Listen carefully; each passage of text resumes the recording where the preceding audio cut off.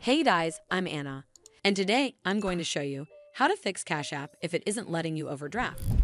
Cash App generally lets overdraw on your cash balance if you meet the eligibility requirements.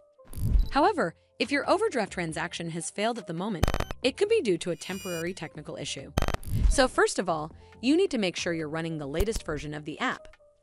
Open up App Store on your device, and then tap on this search icon in the bottom right corner. Then search for the Cash App. And if you see this update button right next to the app name, simply tap on it to make sure you're running the latest version of the app. This should fix Cash App not letting you overdraft, but if it doesn't, then you need to clear App Cache. Go to your device settings and then scroll all the way down to General and tap on it. Then tap on iPhone Storage. From here, search for the Cash App and then tap on it. Once you're on this screen, you need to tap on Offload App. Tap again to confirm. It'll take a bit for processing, and then a reinstall button will show up. Simply tap on it to reinstall the app.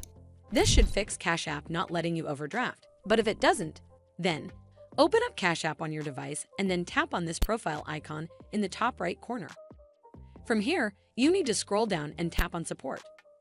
Over here, you need to tap on something else. Once you're on this screen, scroll down and tap on Cash Card.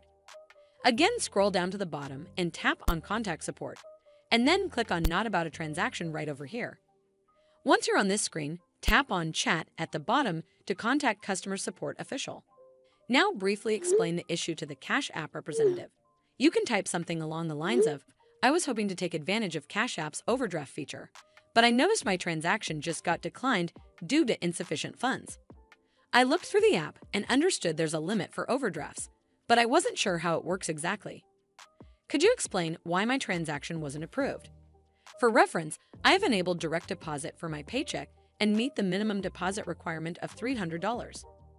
Is it possible my overdraft limit is set to zero, or maybe there's another reason why it wasn't available for this particular transaction?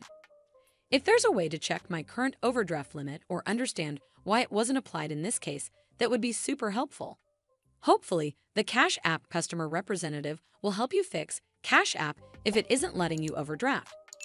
I hope you found this video helpful, and if you did, make sure you give this video a super thanks by clicking on this heart icon to help support the channel, and don't forget to hit that subscribe button. We'll see you in the next one.